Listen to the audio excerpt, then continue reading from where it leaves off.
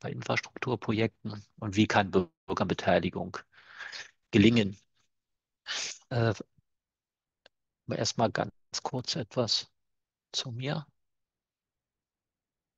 Also ich habe betreibe seit 20 Jahren eine Firma, Steinbeiß, Steinbeiß Mediation, Wirtschaftsmediation und ICO mit Dr. Barth GmbH und Co. KG und ich habe eine Professur für Konfliktmanagement und Mediation an der Steinbeiß Hochschule und gebe auch Deutschlands äh, größte Fachzeitschrift äh, hinsichtlich Konfliktbearbeitung heraus, äh, die Mediation, also in Deutsch, in Deutschland und in Österreich bin auch Präsident der Deutschen Gesellschaft für Mediation und ansonsten, also nicht nur akademisch tätig, sondern ich bin den größten, größten Teil davon äh, meiner Zeit verbringe ich mit äh, Moderation, äh, Mediation, Ausbildung von äh, Mediation, wesentlich in der Wirtschaft.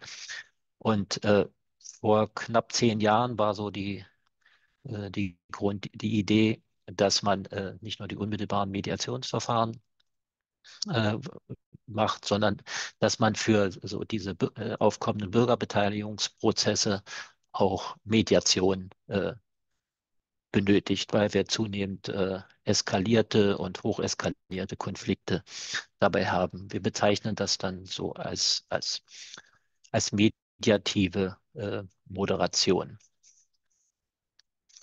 Sonst sind wir so ein äh, Beratungsinstitut, denke ich, im Konfliktmanagement, gehören wir zu den führenden in Deutschland, machen sehr viel Öffentlichkeitsbeteiligungsprojekte, sowohl in Kommunen, also in Gemeinden und auch grenzüberschreitend, gerade Deutschland, Polen haben wir jetzt, haben wir jetzt ein, ein Projekt, haben jetzt auch vom sächsischen äh, Staatsministerium für Energie und Klimaschutz äh, nochmal einen Preis bekommen für Bürgerbeteiligung.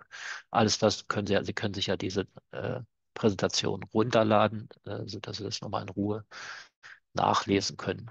Also grundlegend äh, bin ich in dem Bereich tätig, äh, über den ich jetzt rede, äh, gerade in Solarpark, also im Beginn gerade Solarparks. Wir haben Wind, Windenergieparks, die wir betreuen und, Verte und Verteilung und im Verteilnetzausbau ähm, betreuen wir mehr, mehrere Trassen, also wo wir Bürgerinitiativen, Kommunen, Vorhabenträger und Bürger äh, zu einem konsensualen Prozess versuchen zusammenzubekommen.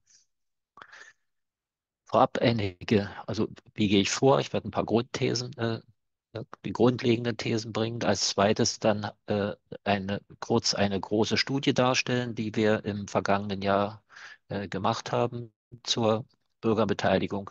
Und dann werde ich mal auf verschiedene praktische, äh, handwerkliche Sachen eingehen. Also wie geht man vor mit, mit Kommunen? Wie baut man so einen Prozess auf?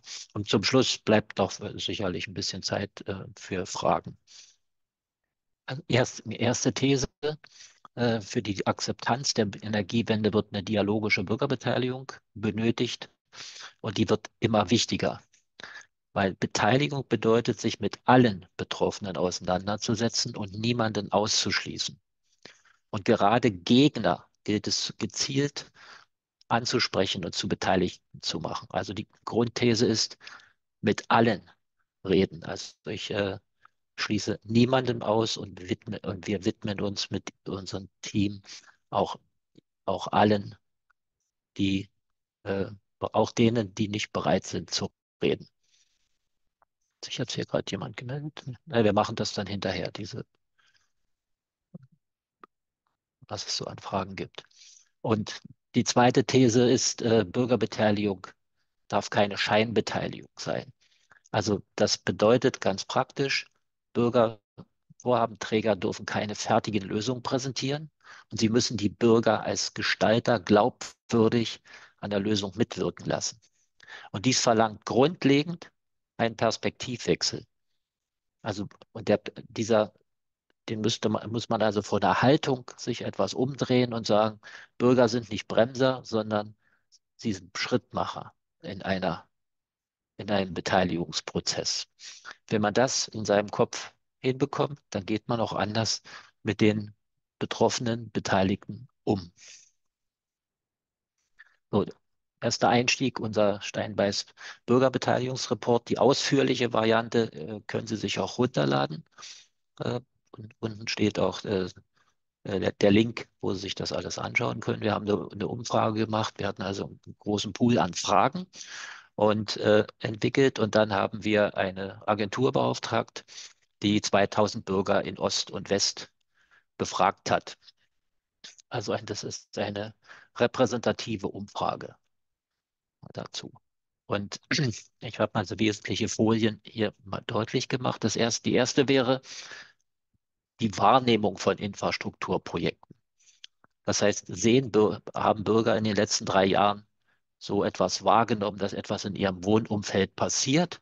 Und da kann man sagen, die Hälfte äh, der Befragten, nochmal, das ist ja eine repräsentative Umfrage, also die Hälfte haben, haben diese Infrastrukturprojekte wahrgenommen.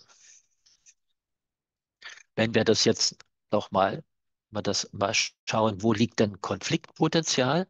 Also wie hoch schätzen Sie das Konfliktpotenzial bei, Energieinfra bei Energieinfrastrukturprojekten ein? Und wenn wir darauf schauen, dann sehen wir, das höchste Konfliktpotenzial hat die Windenergie. Also Windkraftanlagen, die liegen, wenn wir jetzt hier, hier unten mal schauen, ne, also vom Graubereich äh, beginnen, sehr hoch, 13, äh, eher hoch, 35 äh, und dann, dann äh, eher, eher hoch 34, sehr hoch 35, dann, dann, liegen, dann liegen wir hier so bei fast 80 Prozent. Äh, dass ein sehr hohes Konfliktpotenzial äh, dort gesehen wird. Das muss, das muss man noch mal genau betrachten. Das heißt, wenn dort so ein hohes Konfliktpotenzial ist, dann muss auch der Aufwand entsprechend groß sein, den man äh, in Beteiligungs äh, man in Beteiligungsprojekten dann entsprechend tut. Äh, die anderen liegen äh, äh, etwas wesentlich niedriger. Und vielleicht sollte man noch sagen, wir haben Ost und West befragt. Und das Interessante dabei ist, dass, dass wir diese Trennung für unsere nächste Studie nicht mehr, nicht mehr so, äh, so halten können, weil es sind Ost und West sind sich im Wesentlichen gleich. Es gibt bis auf ein Item keine signifikanten Unterschiede. Das fand, fand ich auch ein interessantes Ergebnis. Wenn wir weiterschauen, äh, wo liegt eigentlich, wo liegt das größte Konfliktpotenzial, äh, insbesondere bei der, beim Ausbau der Windenergie, dann ist es der Eingriff ins Landschaftsbild. Und hier liegt Ostdeutschland ein Stückchen, ein Stückchen höher. Äh, aber der Knackpunkt ist, also bei allen Infrastrukturprojekten, das kann man ja auch ein bisschen ausweiten, der liegt in, bei den Eingriffen ins Landschaftsbild. Deshalb äh, bedarf auch das wieder einer großen Aufmerksamkeit und einer Flexibilität, denke ich, äh, bei, bei Projekten, das besonders zu berücksichtigen. Und eine zweite Geschichte, die, die immer wieder kommt in den, äh, wenn, wir, äh, wenn wir Projekte begleiten bzw. durchführen, dann ist, dann ist es das Argument der Wertminderung von Grundstücken. Auch hier denke ich, äh, bedarf es äh, noch einiges, ich sage mal, Gehirnschmalzes, um, die, um dort Menschen äh, zu beruhigen, sozusagen. Und das äh, denn da hängen, da hängen Biografien dran und da hängt vor allem Zukunft, Zukunft daran. Also um das mal an, einem Beispiel zu machen, dass jemand sagte, wenn die Leitung oder das Windrad äh, hier entlang kommt, dann verliert unser Grundstück erheblich an Wert und wir sind jetzt 70 Jahre alt und wir wollen dann, wenn wir nicht mehr können, wollen wir uns einen Pflegeheimplatz sichern. Die Fantasie ist erstmal wir verlieren dort Zehntausende Euro und dann können wir vielleicht unseren Pflegeheimplatz nicht mehr bezahlen. Also hier, äh, das kann man, kann man kommunikativ viel machen, aber ich denke, da ist auch materi äh, materiell äh, nötig, etwa, äh, darüber nachzudenken, was man dort in Zukunft machen kann, weil das so ein grundlegendes Argument ist, dem wir in allen Projekten begegnen. Die nächste, äh, die nächste Frage war, wie wichtig sind aus Ihrer Sicht die Beteiligungsmöglichkeiten? wie zum Beispiel die Mitwirkung an der Planung und Umsetzung von Vorhaben. Also jetzt nicht also im Windenergiebereich spricht man bei Beteiligung äh, oft meint man immer das Finanzielle. Also uns das ging es in der Frage eher um die Mitwirkung. Und wenn, wenn wir hier drauf gucken, äh, dann, dann sehen wir, wie, wie wichtig Bürgern, dass äh, diese Mitwirkung ist. Also ganz oben Windenergie, ne? sehr wichtig, 33 Prozent, eher wichtig, 43. Das, dann, dann sind wir auch, dann sind wir hier schon ein ganzes Stück über 70, über 70 Prozent. Also, dass man mitwirken möchte. Die anderen sind ja auch nicht zu verachten, ne? äh, die, die, Einzel die Zahlen. Das heißt, wir brauchen wesentlich mehr Aufmerksamkeit in der Mitwirkung. Und ich komme später noch dazu. Mitwirkung bedeutet ja wesentlich die frühe Bürgerbeteiligung und nicht die formale und nicht die formale Bürgerbeteiligung, weil die haben wir ja schon lange im Land.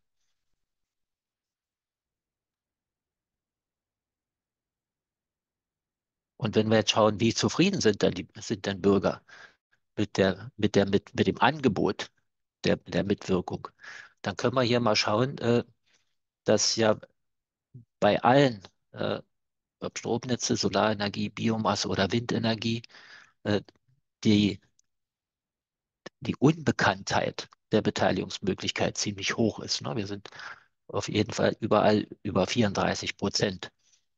Dann sehr unzufrieden, das hält sich in Grenzen, aber eher unzufrieden. Äh, dann, wenn wir das mal alles zusammenrechnen, dann sind, dann sind wir da auch schon wieder über 70 Prozent. Das heißt, wir haben noch, wir haben noch wirklich sehr viel Luft nach oben, den, der Mitwirkung von Bürgern gerecht zu, der Mitwirkungswunsch von Bürgern gerecht zu werden. Und das würde ich äh, meinen, das ist ein, das ein demokratisches Grundprinzip in einem Gemeinwesen, dass Bürger bei Veränderungen in ihrem Wohn- und Lebensumfeld mitwirken dürfen und mitwirken können. Ich denke, das hat auch nochmal wesentlich etwas mit der Einstellung zu tun. Ich komme später nochmal drauf, dass natürlich, dass es auch, auch, ein finanzieller Vorteil durchaus sein kann, wenn man äh, für Vorhabenträger, wenn man Bürger beteiligt. Hier nochmal eine andere Grafik. Haben Bürger haben großes Interesse bei Infrastrukturprojekten mitzuwirken. Wenn wir hier mal drauf schauen, gesamt sind es schon also 30 Prozent grundsätzlich und, äh, und 33 Prozent nochmal, sofern sie direkt betroffen sind. Und was aber nochmals so circa über 20 Prozent möchten, informiert werden. Das heißt, wir, das ist hier in Ost und West äh, sehr gleich. Das heißt, wir liegen bei fast 90 Prozent der Bürgerinnen und Bürger, die in irgendeiner Weise einbezogen werden möchten, wenn es, Infrastruktur, wenn, wenn es zu Infrastrukturprojekten äh, in ihrer Region kommt. Es sind ja wahrscheinlich viele Vorhabenträger auch hier dabei. Das müsste man sich jetzt nochmal wirklich auf der Zunge zergehen lassen, was das bedeutet. Kann jeder mal für in seinem Unternehmen als Vorhabenträger mal schauen, äh, wie viel man da tatsächlich tut und wie viel man frühzeitig tut. Und ich habe jetzt das, ich betone immer wieder das Wort frühzeitig, weil wenn wir darauf schauen, was ist für die Bürgerinnen und Bürger besonders ausschlaggebend, dann ist es schon mit signifikantem Abstand die, die frühzeitige Information der Betroffenen in, über, über die Öffentlichkeit und als auch als Beteiligungs, äh, als Beteiligung. Das sind hier bei, also hier reißt es ganz leicht der Osten ein bisschen äh, als leichter Ausreißer. Wenn wir nochmal weiterschauen, dann was ist dann noch Bürgerinnen und Bürgern wichtig? Dann eben schauen Sie mal auf die, auf die rechte Seite. Da haben wir sehr stark gegenseitiges Vertrauen, Transparenz der Entscheidungsprozesse und Glaubwürdigkeit. Und da denke ich, haben wir noch auch einen gewissen Kulturwandel äh, zu bewältigen oder Change-Prozess, wie man das auch immer äh, bezeichnet. Denn äh, so historisch gesehen erlebe ich in den Projekten, dass Bürger immer wieder berichten, dass sie bei vorherigen Projekten wenig einbezogen wurden, dass sie, dass sie durchaus belogen wurden, dass man zwar mit ihnen geredet hat, dann aber alles ganz anders gemacht hat und nicht, und nicht wie abgesprochen.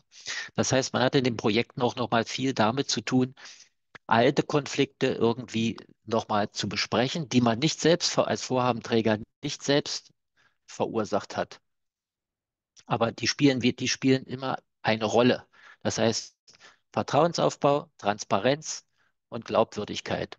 Und das möglichst frühzeitig aufzusetzen in so einem Prozess. Das wären für mich so die zentralen Punkte, die man an beim Beteiligungsprozess berücksichtigen sollte, muss. Und jetzt haben wir die Bürger gefragt, welchen Nutzen äh, könnte das Ganze dann haben? Und mit Abstand kommt heraus Vorbeugung von Konflikten, wenn man, wenn man beteiligt. Und als zweites auch noch ein sehr hoher Wert, Vermeidung von Klagen. Und das ist ja das, was, äh, was Vorhabenträger besonders ausbremst, was hohe Kosten verursacht. Wenn am Ende eines Prozesses dann die Klagen stehen, dann kann das wieder Jahre gehen, bis ein Projekt äh, umgesetzt werden kann. Seien es Windräder oder, oder seien es äh, Verteilnetzausbau, was ja auch bei uns noch in Deutschland noch äh, viele Vorhaben beinhalten. So, das wäre so mal ein Ausschnitt aus, aus unserer Studie. Und wenn wir jetzt, ich habe ja noch mal zwei Folien, die das deutlich machen sollen. Das, äh, die, das stammt aus der Forschung von Brettschneider von der Uni Hohenheim. Äh, der hat so, äh, zwei Graphen aufgestellt, wo es um die öffentliche Wahrnehmung eines Projektes geht und die entsprechenden Kosten. Also wenn wir auf die, Link, auf die linke Grafik schauen, dann sehen wir den blauen Graph als den Kosten und den anderen als den, was die öffentliche Wahrnehmung äh, abbildet. Und hier kann man, kann man sehen, also wenn man wenig öffentliche Wahrnehmung äh, erzeugt, da sind die Kosten erstmal sehr relativ niedrig. Aber je mehr der Prozess voranschreitet, also man ins äh, Planfeststellungsverfahren kommt, dann kommt zwangsläufig, zwangsläufig die Wahrnehmung in der Öffentlichkeit und kann man gut sehen, dass am Ende die Kosten immer weiter steigen. Und vor, äh, zu Beginn hat man in der Vorplanung hat man dann Ruhe. Ne? Da, äh, die meisten, äh, also doch könnte fast sagen, die, also viele Vorhabenträger scheuen zu Beginn äh, die Betroffenen dazu Beteiligten zu machen, weil man dann immer mit, auch mit sehr viel Widerstand rechnet. Und man muss sehr viel Öffentlichkeitsarbeit machen. Man muss sehr viel kommunizieren. Man muss die Menschen, man muss die Bürgerinnen und Bürger abholen. Und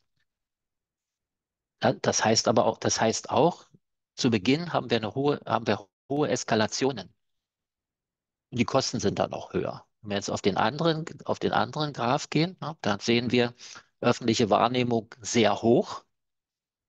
Könnte auch den noch ein Stückchen weiterziehen und sagen, da sind doch Eskalationen, also die Eskalationen nehmen erstmal zu. Aber dann, wenn man, wenn man diesen hohen Aufwand nicht gescheut hat, dann beruhigt sich das Ganze und die Kosten steigen nicht mehr. Also wir haben jetzt, wir schließen jetzt ein, ein, eine Trasse ab, was so was sehr selten passiert, eine, ein Verteilnetzausbau, also Hochspannungsleitung, die wir abschließen, ohne dass es eine Klage gibt. Und das spart natürlich, das spart dann eben enorme Kosten. Jetzt können wir dieses Beteiligungsparadoxon, vielleicht kennen Sie das, ne? also je, äh, je weiter der Prozess äh, voranschreitet, äh, umso geringer sind die Einflussmöglichkeiten.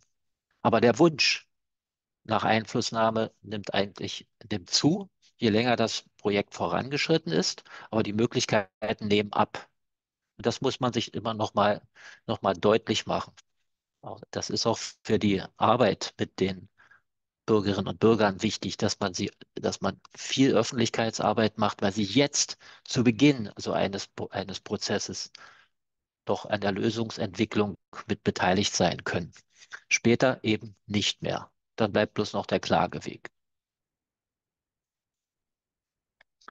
Wenn wir diesen Prozess mal so exemplarisch abbilden, was machen wir in einem Dialogprozess? Der, erst, der erste Schritt ist, dass wir eine ressourcenorientierte Stakeholder-Analyse machen. Also wir schauen in dem, in dem Gebiet nach allen möglichen äh, Betroffenen, möglichen und, und Beteiligten. Und zu, und, und zu diesen bilden wir dann Hypothesen. Also was, könnt, was könnten deren Interessen an dem, welche Bedürfnisse, Interessen könnten sie mit, so, mit solch einem Projekt verbinden? Es ist sehr wichtig, dass man, dass es gelingt, möglichst alle zu finden und nicht, dass am Ende, zum Ende des Prozesses äh, plötzlich eine Firma auftaucht, die sagt, also das passt mir jetzt ja gleich hier gar nicht, das schädigt mich wirtschaftlich, haben wir auch schon gehabt. Äh, und dann muss man, hat man nochmal einen langen Verhandlungsprozess. Also eine ausführliche, ressourcenorientierte Stakeholder-Analyse. Und also das dann nach der Beauftragung durch einen Vorhabenträger. Und wir als, als Agentur, wir verstehen uns in solch einem Prozess, auch wenn wir bezahlt werden von einem Vorhabenträger, verstehen wir uns aber als, als Vermittler zwischen allen, zwischen allen Beteiligten. Und das äh, formulieren wir auch so, dass wir dafür da sind, um die Interessen und Bedürfnisse aller anderen Stakeholder jenseits des Vorhabenträgers äh, deutlich zu machen und auch und geltend zu machen. Solch ein Prozess beginnt für uns immer auf der politischen Ebene. Das heißt, wenn wir uns als demokratisch, wenn wir das Gemeinwesen betrachten, dann steht der, ist der erste Ansprechpartner das, äh, der, das Landratsamt, der Landrat. Danach gehen wir zu den, danach gehen wir zu den Bürgermeister und Bürgermeistern und zu den regionalen Planungsbehörden. Und danach, möglichst schnell danach, äh, werden die Gemeinderäte und Stadträte einbezogen. Und auf, auf dieser Ebene äh, siedeln wir auch die dann meist schon bestehenden Bürgerinitiativen an, weil sie haben auch eine gewisse dem, äh, demokratische Legitimation. Und sie stehen aber nicht über Bürgermeistern, also in unserer Wahrnehmung, ne, weil die, das andere sind Gewählte das zweite sind, sagen wir mal, äh, selbsternannte beziehungsweise äh, Vertreter von Bürgergruppen. Und dann gehen wir in die Gespräche mit weiteren Akteuren. Das können jetzt bestimmte Behörden sein, das können wichtige, es können Unternehmen sein, das kann auch mal der, der Sportverein sein, jener, oder der, der, der NABU oder der BUND, sodass wir diese, diese Akteure einbeziehen. Denn der nächste Punkt ist äh, mediale Berichterstattung und Kommunikation dann ist es unser Prinzip, dass wir sagen, das nehmen wir wesentlich als Agentur in die Hand. Weil es wird in der Öffentlichkeit oft sehr als sehr schwierig wahrgenommen, dass wenn ein Vorhabenträger äh, kommuniziert. Und wir sind jemand, wir, wir kommunizieren das, worum es dem Vorhabenträger geht. Und wir kommunizieren aber auch das, worum es anderen Stakeholdern geht. Also um das mal äh, so deutlich zu machen, wenn wir einen runden Tisch äh, organisiert haben, dann und wir anschließend eine Presseerklärung machen, dann kommt in diese Presseerklärung sowohl der, äh, das hinein, was ein Vorhabenträger aus dem als Ergebnis des runden Tisches gerne kommunizieren möchte, wie auch im, im Zitat alle äh, Bürgermeister oder Bürgerinitiativen aus diesem, von diesem runden Tisch. Das heißt, auch, auch die kritischen, ablehnenden Äußerungen werden mit Namen und Vertreter jeweils in der Presseerklärung äh, zitiert. Das, das, das läuft dadurch dann sehr gut, weil jeder sich vor ja, meist alles demokratisch legitimierte äh, Repräsentanten dass die gegenüber ihrem Klientel auch deutlich sagen können, ich habe unsere Interessen hier deutlich gemacht. Und das führt auch, und diese Presseerklärung, die bekommt sowohl die Presse als auch alle anderen Akteure in dieser Region. Das heißt, wir in, in, schon im Rahmen der Stakeholder-Analyse eruieren wir alle E-Mail-Adressen von der Feuerwehr, vom Sportplatz, von Arbeitsgemeinschaften. Und die bekommen diese Mitteilung auch. Weil wir das, der positive Effekt daran ist, äh, dass, dass wir nicht nur die Presse als Informationsmedium äh, haben, sondern auch alle anderen. Man begegnet mitunter Journalisten, die äh, das, die versuchen, Sensationen zu bauen. Und, und dann kommt etwa, dann kommt etwas heraus, was gar nicht so das Ergebnis eines bestimmten eines runden Tisches war. Also solche Erlebnisse haben wir auch schon gehabt. Und deshalb nehmen wir das Ganze in die Hand und versuchen alle Bürgerinnen und Bürger selbst zu informieren. So, und dann kommt das, was man so traditionell auch macht, also Informat Informationsforen und Projektwerkstätten. Dazu sage ich später noch mal etwas. Also wichtig ist ein, ein strategisches Akzeptanzmanagement, nach vorn zu schauen, adaptiv, das heißt zu schauen, was aber denn, was verändert sich, da muss man auch wieder etwas äh, im, im Prozess verändern.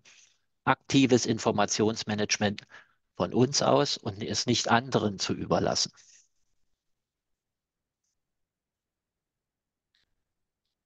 Also, wenn wir es jetzt nochmal punktuell bringen, Dialog auf Basis von Interessen und Anliegen führen. Das heißt, wir eruieren das, was Bürgerinnen und Bürgern und allen Stakeholdern wichtig ist und wir gehen nicht in den, Fach, in den fachlichen Dialog rein, sondern erst das Erste, was man machen muss, ist herauszubekommen, was ist denen, die dort im Umfeld wohnen, agieren, wichtig, worum geht es denen. Das alles tief zu hinterfragen, damit man sowohl individuelle und Gruppeninteressen auch herausbekommt. Das wäre so das Mediative an, an diesem Prozess, bevor man dann in einen äh, informellen Dialog geht. Das nochmal deutlich zu machen, es geht um die vollständige Erfassung der Interessen und Anliegen der Akteure, also Bürger, Unternehmen, Kommunen, Verbände, TÜPs. Und das, was wir kommunizieren, ist immer nicht das Durchsetzen dessen, was einem Vorhabenträger wichtig ist, sondern wir haben einen auf Konsens und Kompromiss orientierten Verhandlungsstil. Weil bei allen Infrastrukturprojekten, sage ich mal, müssen alle irgendwo federn lassen. Und das Wichtige ist, dass, dass, dass man kann es ja mal so formulieren, am Ende müssen alle, unzu, alle unzufrieden sein. Also, und, und nicht alle ganz zufrieden weil man was, weil man jeder irgendwas aufgeben muss. So ein Infrastrukturprojekt ist in der Regel äh, kein Festival der Freude, wenn es dann am Ende realisiert wird. Das sollte man auch immer im Hinterkopf haben. Äh, das, was ich äh, wichtig wäre in diesem Prozess, nochmal das Prinzip der Transparenz. Das heißt, es sollten auch alle Fakten und äh, kommuniziert werden, dass alle Parteien auf demselben Informationsstand sind.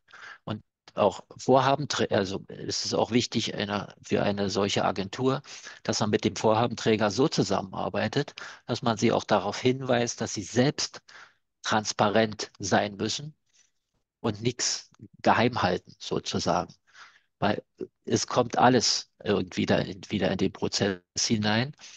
Und, und am Ende ent, entsteht äh, dann Misstrauen, weil warum haben sie uns das, dieses und jenes nicht schon vorher erzählt? Das haben sie doch gewusst.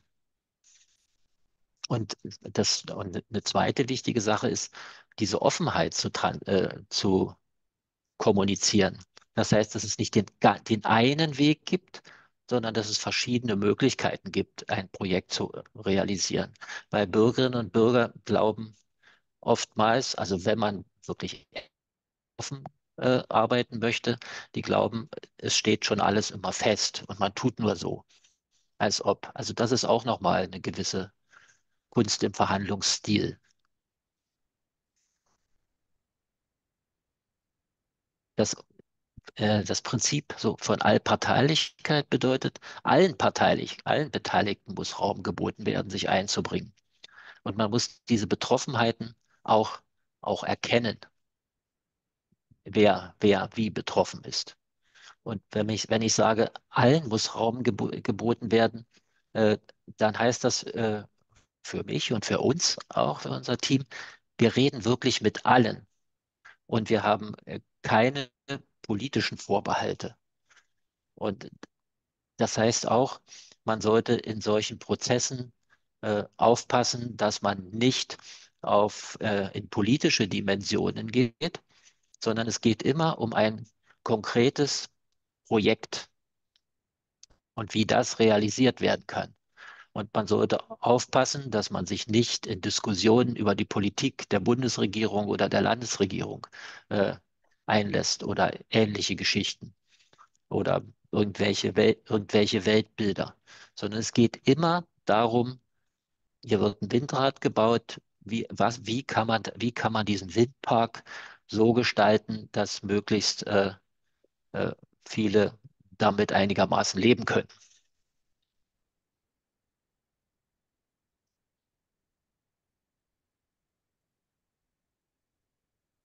Kommen wir mal zu, zu dem, äh, dass es geht ja auch darum, einen Rahmen äh, zu schaffen, in welchem ein Dialog möglich ist. Und hier ein, ein Rahmen sind nicht nur Regeln, wie, wie, man mit, wie man miteinander umgeht, also welchen respektvollen Umgang, welche Prinzipien äh, man hat, sondern ein Rahmen bedeutet auch ein entsprechendes Setting. Und ich gehe mal hier ein Stückchen kurz rüber. Also Setting, Setting bedeutet, wie ich Tische, Stühle, Tafeln äh, baue. Äh, das strukturiert auch die, die Kommunikation. Wir haben, es, es ist ja sehr wichtig, wenn sich größere Menschenmengen äh, von Bürgern einfach versammeln und informiert werden wollen, dann haben, dann haben wir immer einige, die, die, dagegen sind. Wir haben einige, die sind neutral. Wir haben andere, äh, die würden das schon befürworten und manche wollen bloß Informationen haben. Äh, und man muss aufpassen, dass nicht eine bestimmte äh, Menschengruppe äh, die anderen dominiert. Und da haben wir so verschiedene Settings entwickelt. Also das, was ich jetzt gleich darstellen werde, das kommt aus, das haben wir während der Corona-Zeit entwickelt und machen das jetzt auch so weiter. Das heißt, damals durften ja nicht äh, so viele Menschen in einen Raum. Wir haben äh, dann äh, also Slots entwickelt, also dazu, man konnte sich anmelden, 16 Uhr, 17 Uhr, 18 Uhr, 19 Uhr und wenn es nicht reicht, 20 Uhr und dann war die Zahl der Personen begrenzt auf 12. So, das heißt, ich habe immer am Eingang zwölf Personen und die werden, werden eingangs informiert und dann so an den Ständen vorbeigeführt und dann, und dann wird ihnen erklärt, was da gerade passiert und sie können dann entsprechende Fragen stellen und in die Diskussion gehen.